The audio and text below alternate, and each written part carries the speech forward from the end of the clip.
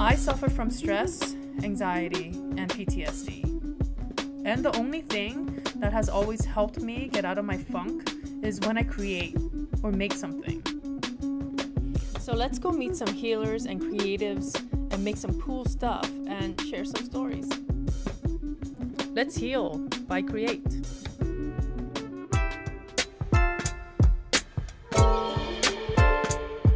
Hi, we're here today with Courtney Dusenberry. She's a scenic artist and a great person.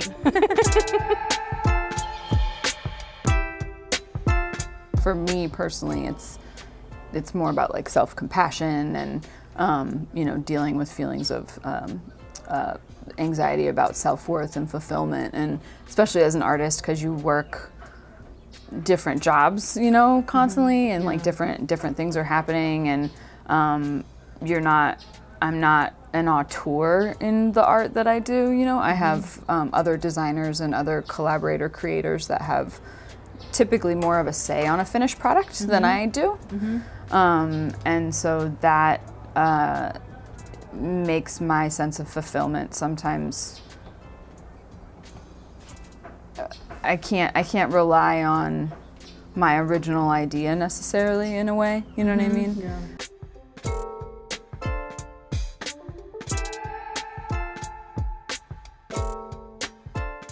Anxiety that I feel um, that I think is a lot genetic in a way, and then also world related. How separate we're all getting, and the way uh, people feel younger people than me, and I'm a millennial, so like younger people than me feel more um, intimate with a person online than they do in person, Yeah. which I think is very sad. Yeah. Um, and I think that does cause a lot of anxiety and depression and stress within the like w- global community Yeah, at large, yeah. um, especially technologically revolutionized places. So you think like because the digital world is not really, you you, you think it's not. There's like, no, it's not tactile, and yet if you grew up in that world, then that is all you know. So why wouldn't that be how you become intimate with someone? I didn't recognize that it was anxiety and stress until I started seeing a therapist in my later 20s, and then I was like, oh, So what was the Yeah. incident? Can you do you think Well, about I one used to- incident yeah. that was like a light bulb moment for you? Well, when I was a kid, I, um, for some reason, we lived across from a park. And in that park, there were homeless folks that would sleep in the trees and stuff and like the playground and stuff at night. Um, they're really nice people. I would talk to them often when I was a kid playing in the park because I like didn't know any better. And I think that was still at a time when like kids could go across the street and play in the park in the like 90s. yeah, you know, right, yeah. Um, so anyway, so um, at one point, I don't know why what happened. There was some scare about either gun violence in the neighborhood. I don't think it was necessarily in the park, but I don't I don't remember. But something became unsafe about the park, and it was around the same time that the the song "Gangsta's Paradise." came out and there was that movie and I don't think it has the same title and I meant to look this up but I don't remember but it's like the Michelle Pfeiffer movie where she's like the the the principal Oh, the teacher. Or yeah, the she, teacher, She, yeah, yeah, and yeah. rescues all these kids from the projects, kind of. thing, right kind of thing yeah and there's like gun violence clearly gang and gun violence involved in that movie and obviously in the song um, and that song and that movie and this thing all compiled in me and like i don't know if it all happened in one night but i remember i got really worked up and i got so anxious and nervous that like we were gonna get shot or like something was gonna happen to us i worked this all up in my head and i threw up and and then for I don't know, maybe months after. Anytime I would hear that song, because the song was popular, it was like Yeah, it part of this movie, and like it would play all the time in the radio, and I would throw up, like every time I heard the song. So every time you hear the song, you would literally just throw up. Yeah, but I mean, it went away eh, after a little while, and, and I think it probably went away when my mom or somebody talked to me about why I felt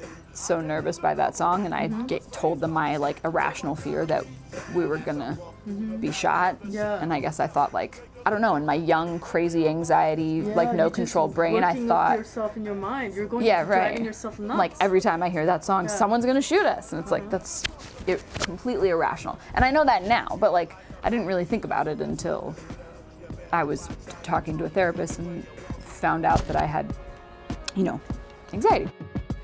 Today you're gonna um. Is this our first time actually? You're gonna be making. Yeah, yeah. What, what is the process called? it's acrylic pouring. Uh, so it's, it's We'll called try it. We have to mix the pouring medium, which is this business, with each of the colors. We cannot mix it into the colors once they are poured because the whole thing of why this looks cool and does cool things is you layer paint in a cup and then pour it out and it, Oh. it pools out in a way that's Oh, shapes kind of and yeah, it does funky shapes and cool shit. What is that one? That's the. This is the medium that The makes it easier to okay. pour. Yeah. I was thinking about just getting Floetrol, which is what I use when I'm doing scenic artistry stuff. Um, but I didn't. But Floetrol is something that makes uh, paint like move move better, but it does change the the saturation of the color. If you put too much Floetrol into paint, Oh. It'll extend the life of a paint. Thing says to do five to one, so like Five five, parts of this to one part of that. Okay. But this acrylic is a little bit more viscous than like artist medium acrylic, so I'm gonna try to do three to one, and it's a total guess. If what I spend most of my time doing is talking about my emotional trauma with someone um, and talking about the validity of it and all that stuff, to me, that's like, well, now my emotional trauma is becoming my identity because that's Yeah. what I'm choosing to spend an hour or more every week talking to someone about and giving validity to.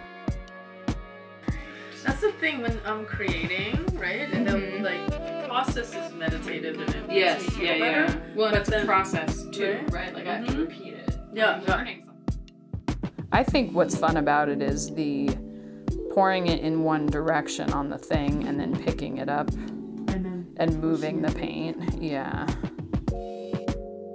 because you said you like doing details and Yeah, the detail stuff, well, it just gets me out of my head. It dries there, I'm never gonna get it up off of